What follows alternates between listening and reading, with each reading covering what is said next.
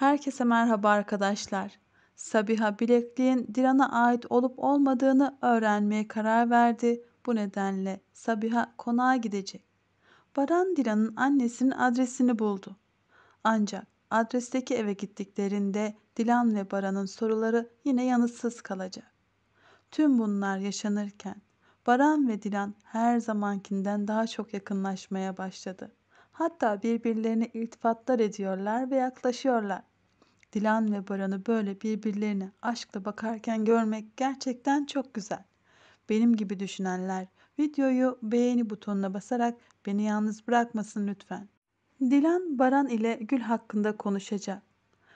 Dilan Baran'a Gül'ün aslında Salih ile evlenmek istemediğini, bu evliliğini zorlandığını söyleyecek. Dilan üstü kapalı Azade'yi hedef gösterecek.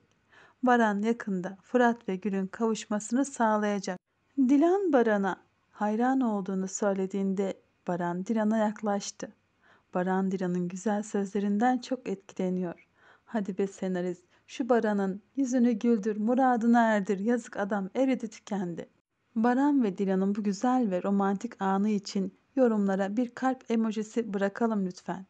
Yakında Sabiha konağa gelecek ve bilekliğin Dilan'a ait olup olmadığını soracak. Bakalım Sabiha Dilan'a annesi olduğunu söyleyecek mi? Sizler de değerli düşüncelerinizi bizimle paylaşmayı unutmayın lütfen.